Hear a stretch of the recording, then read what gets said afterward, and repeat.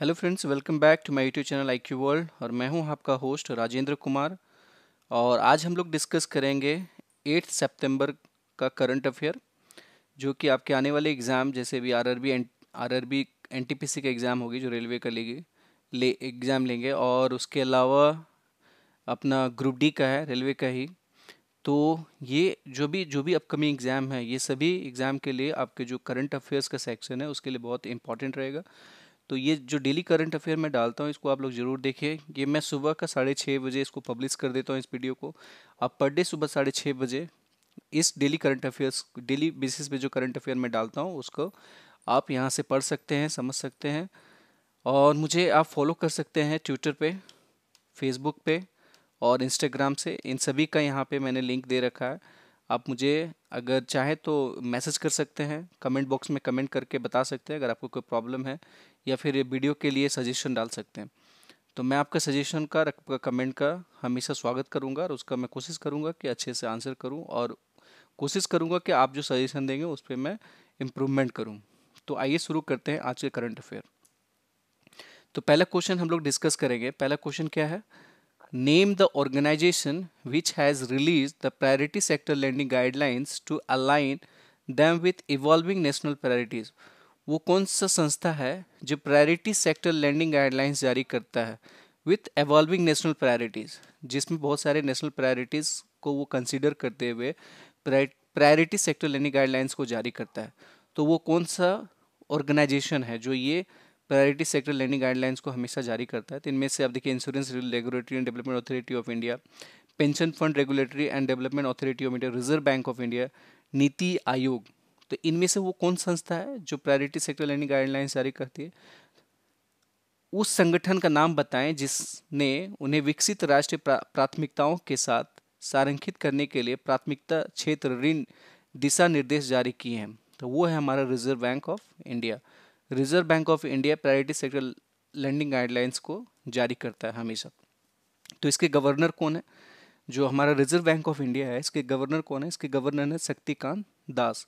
Shaktikanta Das reserve bank of India के governor हैं। Next question पे बात करेंगे। Which state stops ease of doing business ranking इनमें से वो कौन सा स्टेट है, राज्य है, जो ईज ऑफ़ डूइंग बिज़नेस में पहला स्थान, जो टॉप किया है? वो कौन सा राज्य है? ईज ऑफ़ डूइंग बिज़नेस कहने का मतलब है जो व्यापार रैंकिंग में, आप देखिए यहाँ पे ये व्यापार रैंकिंग में प्रथम स्थान जिसने पाया है, वो कौन सा भारतीय राज्य है which state stop ease of doing business ranking जैसे कि आप देख सकते हैं तो वो है हमारा आंध्र प्रदेश। आंध्र प्रदेश ने इस ease of doing business ranking में नंबर वन रैंकिंग हासिल की है। जैसे कि यहाँ पे टॉप टेन अचीवर्स का नाम देख सकते हैं। तो पहला कौन है हमारा? आंध्र प्रदेश। दूसरा है उत्तर प्रदेश, तीसरा है तेलंगाना, चौथा है मध्य प्रदेश, पांचवा है झारखंड, छठा है आपका छत्तीसगढ़, हिमाचल प्रदेश, राजस्थान, वेस्ट बंगाल एंड गुजरात। ये टॉप टेन स्टेट हैं जो ईज ऑफ़ डूइंग बिज़नेस में रैंकिंग बना के रखा है वन टू टेन तो इन इन स्टेट में जिनका ease of doing business ranking का मतलब क्या हुआ? बीज ease of doing business ranking का मतलब ये हुआ कि आप अपने स्टेट में व्यापार को बढ़ावा देना। आपने कितने अच्छे तरीकों से किन किन सेक्टर में जो भी इन्वेस्टर्स हैं, उनको लुभाने के लिए आपने क्या क्या योजनाएँ तैयार करी हैं, या फिर कितने अच्छे तरीकों से योजनाओं को क्रियान्वित करते हैं, ये सभी ईज ऑफ़ डूइंग बिज़नेस में कंसिडर किया जाता है। तो हर स्टेट का एक अपना पैमाना होता है, हर स्टेट की गवर्नमेंट की एक अपनी लाइबिलिटी होती है, उस हिसाब से उस गवर्नमेंट की पॉलिसी होती है, और वो पॉलिसी को इम्प्लीमेंट करके अपने आप को जो टॉप रैंकिंग में लाते हैं, वो है, अभी तो आंध्र प्रदेश है तो हर हर गवर्नमेंट चाहती है कि उसके स्टेट में ज़्यादा से ज़्यादा एफ़ डी आई आए फॉरेन डायरेक्ट इन्वेस्टमेंट आए या फिर नेशनल इन्वेस्टमेंट आए तो उसके लिए उनकी पॉलिसीज़ होती है और उन पे, उन पॉलिसीज़ को अप्लाई करने के लिए अपने वो जो गवर्नेंस लेवल पे लोग हैं, उनको वो लगाते हैं ताकि एक अच्छा स्टेट में एक अच्छी गवर्नेंस पॉलिसी आए और अच्छा व्यापार का साधन बने। तो ये उसमें से एक प्रोसेस है ये जो ईज ऑफ़ डूइंग बिज़नेस का रैंकिंग आती है। इससे ये भी पता चलता है कि कौन सा स्टेट किस पूरी पायदान पे है और किस स्टेट को कितना इम्प्रूव करने की ज़रूरत है, अपनी पॉलिसी में चेंजेस करने की ज़रूरत है। नेक्स्ट क्वेश्चन पे हम डिस्कस करेंगे, वो क्वेश्चन क्या है? Who has been elected as the president of the society of Indian automobile manufacturer S I A M जो एस ए आई एम है, जैसे कि उसका पूरा नाम क्या है? Indian automobile manufacturer Indian automobile manufacturer for a term of two years तो इनमें से वो कौन से व्यक्ति हैं जिनको Indian automobile manufacture S M उनको प्रेसिडेंट बनाया गया दो साल के लिए। Who has been as elected at the president of society of Indian automobile manufacture S M for a terms of two years S I M के लिए, जो जिनको प्रेसिडेंट के तौर पर नियुक्त किया गया है दो सालों के लिए, वो इनमें से कौन से व्यक्ति हैं? दो साल की अवधि के लिए society of Indian automobile manufacturing के अध्यक्ष के रूप में किसे चुना गया है? तो वो है हमारे, आप यहाँ कैनिची आयुकावा कैनिची आयुकावा जैसे आप ये इमेज में देख सकते हैं ये है वो व्यक्ति जिनको एस के दो सालों के लिए उनको उनके प्रेसिडेंट के तौर पे उनको नियुक्त किया गया गया। नियुक्त किया गया है तो वो है कौन है? कैनिची आयुकावा कैनिची आयुकावा वो पर्सन है। नेक्स्ट क्वेश्चन डिस्कस करेंगे। Who has been elected as a new uh, vice president of SIAM Society for Indian Automobile Manufacturer? इनके नए वाइस प्रेसिडेंट कौन किनको बनाया गया है? Society of Indian automobile manufacture S के एक नए वाइस प्रेसिडेंट बनाया गया है तो वो किन्हें बनाया गया है? तो वो हमें बनाया गया है विपिन सौंधी को, विपिन सौंधी को। C I M S I M society of Indian automobile manufacturing के नए उपाध्यक्ष के रूप में किसे चुना गया है? तो वो चुना गया विपिन सोधी को। विपिन सोधी को ये हैं वो व्यक्ति। विपिन सोधी जी, इनको नए वाइस प्रेसिडेंट चुना गया है एस आई एम का। नेक्स्ट क्वेश्चन डिस्कस करेंगे हम लोग। Who has been resigned from the post of non-executive chairman of IFDC IDFC First Bank. वो कौन से व्यक्ति हैं जिन्होंने अपने पोस्ट से रिजाइन कर दिया as a non executive chairman of the IFDC first bank IFDC first bank के नॉन एग्जीक्यूटिव चेयरमैन के पद से किन्होंने रिजाइन कर दिया? आईएफडीसी प्रथम बैंक के गैर कार्यकारी अध्यक्ष के पद से किसने इस्तीफा दिया है? तो कौन है वो? मनोहर खट्टर, पंकज बिरला, राजीव बी लाल ओम प्रकाश पुरी तो वो हैं हमारे Rajiv B Lal, Rajiv B Lal. Rajiv B Lal क्या है? He was the founder and M D and C E of I D F C bank ये फाउंडर एम डी ये फाउंडर एंड एम डी भी C E O भी रहे हैं I F D C first bank के। और अभी जो करंट में M D and C E हैं, वो हैं वी वैद्यनाथन। वी वैद्यनाथन, अभी जो करंट वहाँ के M D and C E हैं I I D F C first bank के। और इसका हेडक्वार्टर कहाँ है? इसका हेडक्वार्टर है मुंबई। हेडक्वार्टर है मुंबई। तो नेक्स्ट क्वेश्चन डिस्कस करेंगे हम लोग। Which state of America president Donald Trump has announce as the first world war two heritage city America के जो राष्ट्रपति डोनाल्ड ट्रंप हैं, वो वर्ल्ड वॉर टू को वर्ल्ड वॉर टू के लिए वो कौन सा सिटी है जिसको एज ए हेरिटेज घोषित किया है, वहाँ का मतलब धरोहर घोषित किया है वर्ल्ड वॉर टू के लिए। तो देखिए कौन से हैं? कैलिफ़ोर्निया अलास्का फ्लोरिडा विलिंगविंगटन तो इनमें से कोई एक है तो आप बताइए कौन है उनमें से? तो वो है विलिंग विलिंगटन विलिंग विलमिंगटन वो एक शहर है। ये स्टेट है जो अमेरिकन प्रेसिडेंट डोनाल्ड ट्रंप ने इसको वर्ल्ड वॉर टू के हेरिटेज सिटी के तौर पे घोषित किया गया है। अमेरिका के किस राज्य के राष्ट्रपति डोनाल्ड ट्रंप ने विश्व युद्ध द्वितीय का प्रथम विरासत शहर के रूप में घोषणा की है? तो वो है विलमिंगटन। विलमिंगटन वो स्टेट या शहर है जिसका, जिसको वर्ल्ड वॉर टू का हेरिटेज सिटी के तौर पे घोषणा की गई है। और this announcement was made on seventy fifth anniversary of the world war two जब ये अमेरिका पचहत्तरवां दिवस मना रहा था वर्ल्ड वॉर टू का, तब Donald Trump, president Donald Trump ने इस वेलिंगटन शहर को वर्ल्ड वॉर टू के नाम पे एज ए हेरिटेज सिटी को हेरिटेज सिटी घोषित किया है। नेक्स्ट क्वेश्चन डिस्कस करेंगे। Which bank has launched cardless cash withdrawal facility through ATMs इनमें से वो कौन सा बैंक है जो कार्डलेस कैश विड्रॉल फैसिलिटी दे रहा है एटीएम के थ्रू। हमें कार्ड ले जाने की ज़रूरत नहीं। आज हम अगर बैंक जाते, एटीएम जाते हैं तो हमें क्या कार्ड लगानी पड़ती है और कैश निकालने के लिए कार्ड लगाना ज़रूरी हो जाता है। लेकिन वो कौन सा बैंक है जो कार्डलेस दे रहा है? Cardless cash withdrawal. आप बिना कार्ड के ही कैश विड्रॉल कर सकते हैं। वो कौन सा बैंक है? तो वो है हमारा आरबीएल बैंक। आरबीएल बैंक वो फैसिलिटी दे रहा है, जिसमें से आपको कार्डलेस कैश निकालने की सुविधा होगी। आपको आपके पास अगर कार्ड नहीं भी होगा तो आप कैश निकाल पाएँगे। तो आर बैंक ने ये कैसे किया? आर बी बैंक ने एक टाइप करी है एम पेमेंट सिस्टम के साथ, जो ये काम करेंगे। आपको cashless card withdrawal system facility को प्रोवाइड करेगी। वो एम पे पेमेंट सिस्टम है, उसके साथ इन्होंने टाइप कर रखा है। ये आईएमटी क्या एक मेथड है। इंस्टेंट मनी ट्रांसफ़र इसके थ्रू ये पैसा आप विड्रॉल कर सकेंगे। आईएमटी एक सिस्टम है, उस सिस्टम के तहत में आप कैशलेस कार्ड आपको कार्ड ले जाने की ज़रूरत नहीं है। इस सिस्टम के तहत आप बिना कार्ड का अमाउंट विड्रॉ कर पाएँगे। वो कौन सा मेथड है? IMT instant money transfer system instant money transfer system वो मेथड है। इसके एम डी एन सी कौन है? तो विश्ववीर आहूजा। इसके एम डी एन सी हैं, जो आरबीएल बैंक के एम डी एन सी हैं। और ये बैंक का हेडक्वार्टर कहाँ है? हेडक्वार्टर हमारा मुंबई में है। आरबीएल बैंक का हेडक्वार्टर कहाँ है? तो वो मुंबई में है। नेक्स्ट क्वेश्चन डिस्कस करेंगे।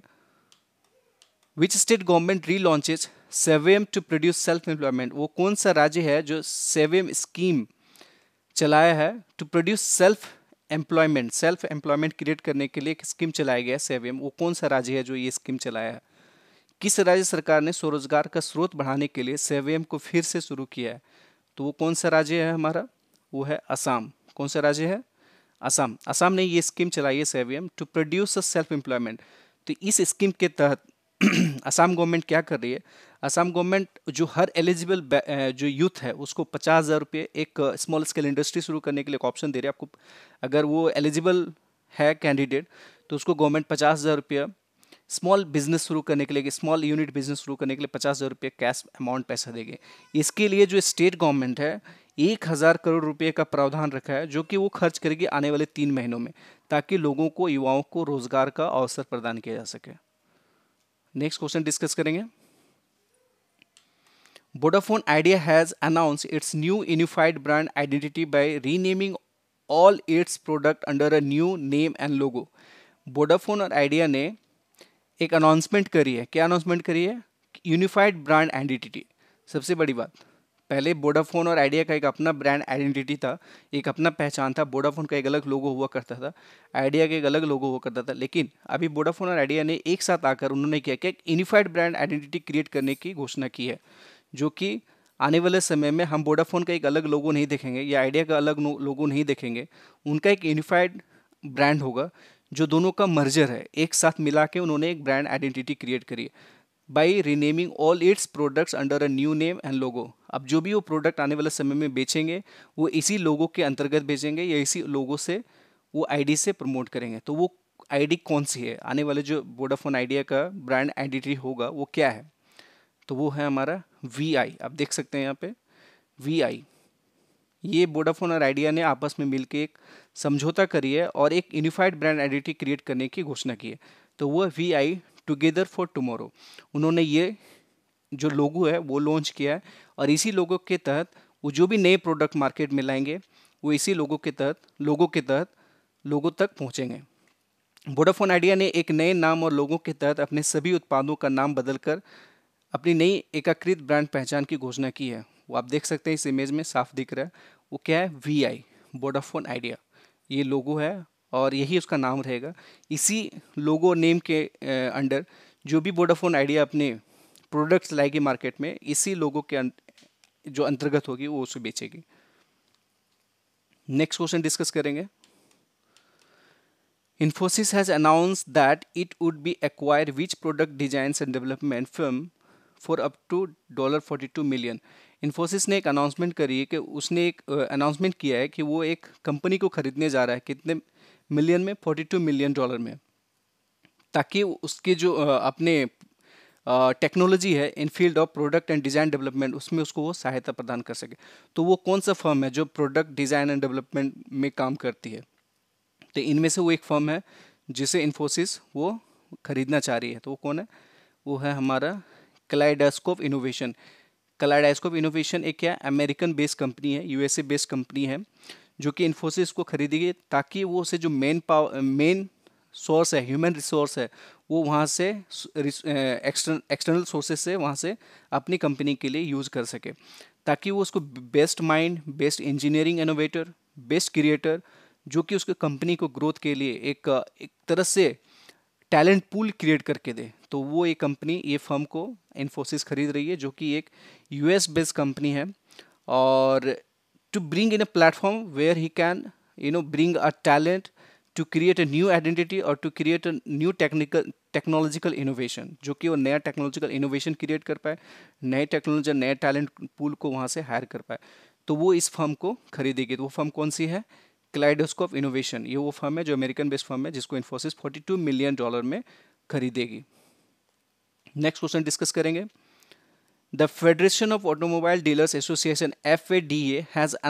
The appointment of which personality as its thirty fifth president for the year two zero two two two two zero two two दो हज़ार बीस से दो हज़ार बाईस the federation of automobile dealer association जो D है, उसने एक घोषणा की है कि वो एक नए अपॉइंटमेंट करेगी as a thirty fifth president for the year 2020-2022 वो नए प्रेसिडेंट कौन होंगे? वो हैं ये नए प्रेसिडेंट आप इमेज में यहाँ देख सकते हैं। तो federation of automobile dealers association FADA ने वर्ष 2020-2022 के लिए अपने पैंतीसवें राष्ट्रपति के रूप में किस व्यक्तित्व की नियुक्ति की घोषणा की है? तो बताइए इसमें आशीष, हर्ष खराज खले विंग विंकेश गुलाटी रमेश पुरी, अजय चौहान। तो इसमें से वो कौन व्यक्ति हैं जिन्हें ये as a personality appointment as a vice sorry president appoint कर रहे हैं? तो वो है हमारे विनकेश गुलाटी विनकेश गुलाटी वो पर्सन है जिनका ये अपॉइंटमेंट कर रहे हैं federation of automobile dealers association इनका अपॉइंटमेंट कर रही है as a president thirty fifth president for year 2020-2022 के लिए। और इसका जो हेडक्वार्टर ये कब फाउंडेड हुआ था? 1964 में ये फाउंडेड हुआ था। इसका हेडक्वार्टर कहाँ है? तो इसका हेडक्वार्टर जो है नई नई दिल्ली में है। एफ़ का जो हेडक्वार्टर है, वो नई दिल्ली में या उन्नीस में ये संस्था बनी थी। नेक्स्ट क्वेश्चन पे बात करेंगे which session of the food and agriculture organization F A regional conference for A S I A and the pacific A P R C thirty five was held virtual format due to the global covid nineteen pandemic तो वो कौन सा session कौन सा session जो food agriculture organization F O regional conference for Asia and pacific F के बीच में हुआ वर्चुअली वो कौन सा कौन सा सेशन था? कितने नंबर का सेशन था जो ये वर्चुअल मीट हुआ ऑन ग्लोबल कोविड नाइन्टीन में? एक वर्चुअली मीट हुआ। तो वो कौन सा सेशन था? कितने नंबर का सेशन था? एशिया और प्रशांत एफ़ थर्टी के लिए खाद्य एवं कृषि संगठन एफ़ क्षेत्रीय सम्मेलन का कौन सा सत्र वैश्विक कोविड नाइन्टीन महामारी के कारण आवासीय प्रारूप, आवासीय मतलब वर्चुअल रूप में आयोजित किया गया। तो कौन सा, कितने नंबर का सेशन था? वो था हमारा thirty fifth thirty fifth session ये जो आयोजन किया गया, वो वर्चुअली किया गया ड्यू टू कोविड नाइन्टीन ये food agriculture organization United nation का ये आप लोगो देख सकते हैं, ये जो लोगो है। ये क्यों किया गया? इसके कराने के पीछे क्या था? तो जो फ़ूड एंड एग्रीकल्चर ऑर्गेनाइजेशन इसका जो पहले हम बात करेंगे, इसका हेडक्वार्टर का है? तो हेडक्वार्टर हम इसका रोम, इटली में है। तो इसका जो ऑर्गेनाइजेशनल हेड है, वो कौन है? D U Dongyu. इसके हेड हैं। और ये कब बना था? 16 अक्टूबर 1945 में बना था। ये मीटिंग क्यों कराई गई? ये मीटिंग इसलिए की गई ताकि वहाँ पे फ़ूड अवेयरनेस के बारे में फ़ूड मैनेजमेंट के बारे में न्यूट्रिशन के बारे में फ़ूड सिक्योरिटी के बारे में, इन सब मुद्दों के बारे में डिस्कशन किया जा सके। तो आइए आगे बढ़ते हैं नेक्स्ट क्वेश्चन डिस्कस करते हैं। Who won F one Italian grand prix 2020 F one Italian grand prix 2020 किसने जीता? Lewis Hamilton Sebastian Vettel Daniel Ricciardo Pierre glassy Pierre Gasly Pierre Gasly तो वो कौन भी जीता जो F one Italian grand prix 2020 तो वो जीता हमारे पियरी गैसले पियरी गैसले ने ये गेम को जीता है। तो नेक्स्ट क्वेश्चन डिस्कस करेंगे हम लोग। Which England cricketer announces announces retirement from all forms of cricket वो इंग्लैंड के कौन से क्रिकेट हैं क्रिकेटर हैं जो सारे फॉर्म्स चाहे वो टी ट्वेंटी हो वनडे हो, या टेस्ट क्रिकेट हो, सभी फॉर्मेट से रिटायरमेंट घोषित किया तो वो कौन से कौन वो क्रिकेटर कौन है? तो वो है हमारे यान बेल। यान बेल ने ये सारे फॉर्मेट से संन्यास की घोषणा कर दी है। यान बेल इंग्लैंड से खेला है, उन्होंने अपना डेब्यू मैच 2004 में खेला है। 2004 में अपना पहला डेब्यू मैच खेला था इन्होंने और इंग्लैंड के लिए इन्होंने टोटल 118 टेस्ट मैच खेले हैं। 118 टेस्ट मैच और एक सौ इकसठ ओ एंड आठ टी ट्वेंटी मैच। आठ टी ट्वेंटी मैच एक सौ अठारह टेस्ट मैच और एक सौ इकसठ ओ मैच इंग्लैंड के लिए इन्होंने खेला है। ये है हमारे एन बेल आप देख सकते हैं। नेक्स्ट क्वेश्चन डिस्कस करेंगे। I T Delhi launches which device to D containment N ninety five mask I Delhi एक डिवाइस uh, लॉन्च किया है जो वो डी कॉन्टेनमेंट डी कॉन्टेमिनेट्स करेंगे एन नाइन्टी फाइव मास्क को मतलब उसको शुद्ध करेंगे। अब जैसे कि एन मार्क्स बहुत सारे लोग यूज़ कर रहे हैं तो उसमें क्या होगा? इन्फेक्शन आ गया। तो उसको डी इन्फेक्ट करने के लिए एक डिवाइस का बनाया आईटी दिल्ली के लोगों ने। तो वो डिवाइस का नाम क्या है? तो वो डिवाइस है हमारा चक्र डी कोव। चक्र डी कोव। ये क्या करेगी? जो भी N ninety five marks use use N ninety five marks है, उसको डिसइनफेक्ट करेगी। मतलब अगर उसमें कोई तरह का कॉन्टिमिनेशन uh, है किसी भी तरह का उसमें जम्स है कीटाणु है तो उसको डिसइनफेक्ट करके फिर से आपको पहनने लायक बनाएगी। तो ये डिवाइस का आईआईटी दिल्ली के स्टूडेंट या वहाँ के लोगों ने ये इनोवेशन या ये डिवाइस बनाई है। नेक्स्ट क्वेश्चन डिस्कस करेंगे। Which day celebrated as international day of clean air for blue sky वो कौन सा दिवस दिन है या दिवस है जो international day of a clean air for blue sky मनाया जाता है? मतलब ताकि हमारा आसमान स्वच्छ हो सुरक्षित हो पॉल्यूशन फ्री हो तो इस वो कौन सा ऐसा दिन है जो हम international day of clean air for blue sky को मनाया जाता है? तो वो है सेवन सितंबर वो है सेवन सितंबर याद रखिएगा। ये इस दिन क्या मतलब ये मो, मोटो क्या है? मोटो ये है कि हम पोल्यूशन कम से कम करें और अपने वातावरण को ज़्यादा सुरक्षित रखें। तो इसमें यही मोटो रखा गया है ताकि लोगों में ये अवेयरनेस आए। हम पोल्यूशन कम करें ताकि हमारा जो स्काई है वो ब्लू रहे ब्लू दिखे। हमारा ओजोन लेयर डिप्लेशन भी कम होगा इससे। अभी अभी जो कोविड नाइन्टीन के सिचुएशन में जो इतने लंबे टाइम तक लॉकडाउन हुआ, देखो, जो ओजोन लेयर का जो रिकवरी रेट है बहुत ज़्यादा बढ़ गया। तो हमें अपने एनवायरनमेंट को ग्रीन रखना है, अपने सराउंडिंग्स को ग्रीन रखना है, जितना चाहे पेड़ लगाएँ, और जितना पेड़ लगाएँगे तभी हम ग्रीन इन्वायरमेंट बना सकेंगे। तो प्रकृति को बचाना एक, हर नागरिक का जिम्मेवारी है। तो हम सभी को ये बनता है कि हम अपने प्रकृति को बचाएँ, ताकि हमारा जो ब्लू स्काई कॉन्सेप्ट है मतलब हम एक ब्लू स्काई कॉन्सेप्ट का मतलब क्या हुआ है कि हरी भरी दुनिया, एक जो दुनिया में खुशहाल हो, हम बहुत ज़्यादा पॉल्यूशन ना फैलाएँ, बहुत ज़्यादा प्रकृति का दोहन ना करें। अगर हम प्रकृति का दोहन करेंगे तो प्रकृति फिर उसका बदला लेगी और मनुष्य, ये ये ह्यूमन बींग के लिए ही डिजास्टरस है। अगर हम आज नहीं समझेंगे तो कल हमारे लिए ही प्रॉब्लम होगी। इसीलिए to save nature and save human being and save the life next question पे डिस्कस करेंगे। Jammu and Kashmir lieutenant governor Manoj Sinha, जो जम्मू कश्मीर के लेफ्टिनेंट गवर्नर हैं, उन्होंने एक एक ऑनलाइन पोर्टल लॉन्च करी है for Jammu Kashmir administrative services officer के लिए। वो कौन सा पोर्टल है? ये पोर्टल लॉन्च करने का मकसद क्या है उनका? मकसद ये है कि ताकि लोगों में जो एडमिनिस्ट्रेटर सर्विस जो एडमिनिस्ट्रेटिव सर्विस में वहाँ लोग हैं, उनके अंदर में एक ट्रांसपेरेंसी है उनके अंदर में एक काम करने का जो एक जज्बा है और ये लॉन्च करने का मतलब मतलब ये हुआ कि उनका एक एवेल्युएशन हो पाए उनके काम का। एक अप्रेजल सिस्टम बनाया जा सके, ताकि जो लोग वहाँ अच्छे काम कर रहे हैं, उनको एक तरह से रिगार्ड या रिस्पेक्ट दिया जाए, उनको एक पहचान दिया जाए। तो वो क्या है, Jammu and Kashmir lieutenant governor Manoj Sinha launched which online portal for Jammu and Kashmir administrative service officer इनमें से वो कौन सा ऑनलाइन पोर्टल जो लेफ्टिनेंट गवर्नर है, जम्मू एंड कश्मीर के मनोज सिन्हा ने एक एक ऑनलाइन पोर्टल जारी किया। वो पोर्टल क्या है? ताकि लोगों को जितने भी एडमिनिस्ट्रेटिव सर्विस हैं उनके सर्विसेज़ को मॉनिटर कर सके, उनके काम को मॉनिटर कर सके। तो वो क्या है? एस्पैरो फ्री सेवा ऑनलाइन सेवा या डिजिटल सेवा तो वो क्या है? एस्पैरो एस्पैरो वो डिजिटल ऑनलाइन प्लेटफॉर्म है। तो जिसके थ्रू एक मॉनिटरिंग सिस्टम बनाया गया था। स्पैरो क्या है? इसका अगर हम पूरा बात करेंगे तो smart performance appraisal report recording online windows ये इसका कंप्लीट फुल फॉर्म है। इसके थ्रू एक, एक एक तरह से मोटिवेशन है सारे एडमिनिस्ट्रेटर के लिए ताकि एक उनका एक काम करने में मोटिवेशन बना रहे और लोगों को सेवा अच्छे से कर पाए। नेक्स्ट क्वेश्चन डिस्कस करेंगे। ये था लास्ट डे क्वेश्चन जो मैंने आपसे पूछा था कि इसका आंसर कीजिएगा? तो शायद आपने कमेंट में नहीं किया किसी ने तो आपसे उम्मीद करता हूँ कि आप लोगों को शायद इसका आंसर पता हो। और प्लीज़ कमेंट में किया कीजिए आंसर अगर मैं आपसे कोई क्वेश्चन पूछना हूँ तो उसका कमेंट बॉक्स में कमेंट करके ज़रूर कीजिए, ताकि मुझे पता चले और मेरे वीडियो को, इससे ये भी पता चलेगा कि आप लोगों को पसंद आ रहा है। तो नाटंकी national park located in which state of India ये कौन से स्टेट में लोकेटेड है? तो वो है नागालैंड में। ये जो नेशनल पार्क है, वो नागालैंड में। ये लास्ट डे क्वेश्चन था। अब मैं नेक्स्ट जो आज का क्वेश्चन ऑफ़ द डे है, वो आपको बताना है। कंचनजंगा नेशनल पार्क कौन से स्टेट में है? तो इनमें से वो एक स्टेट में है, जो Kanchenjunga Kanchenjunga national park located है। तो आपको कमेंट बॉक्स में डालना है, इसका आंसर क्या होगा। तो ये था आपका कंप्लीट करंट अफेयर आप लोग इसको ज़रूर फॉलो कीजिए। ये आपके आने वाले एग्ज़ाम जो आर आर बी लेने वाली है ग्रुप डी के एग्ज़ाम लेने वाले हैं, उसके उसमें ये बहुत हेल्पफुल रहेगा। और मैं आने वाले समय में एक कंप्लीट सीरीज़ लेके आऊँगा फिजिक्स केमिस्ट्री और बायोलॉजी पे। जो भी आरआरबी ने अभी तक तो क्वेश्चन पूछे हैं प्रीवियस ईयर में टेक्निकल क्वेश्चन वो सारे मैं आपको सीरीज़ एपिसोड वाइज वो आपको गाइडलाइन करूँगा, जो कि आपको एग्ज़ाम में हेल्पफुल रहेंगे, बहुत हेल्पफुल रहेगा। तो प्लीज़ मेरे चैनल को फॉलो कीजिए लाइक कीजिए सब्सक्राइब कीजिए और मैं हूँ आपका होस्ट अलविदा लेता हूँ आपसे। आप लोग उम्मीद करता हूँ कि आप लोग भी अच्छे रहेंगे। तो इस, जाने से पहले बस आपसे एक ही बात कहूँगा कि मेरे चैनल को ज़रूर लाइक कीजिए और सब्सक्राइब कीजिए। Thank you have a good day bye bye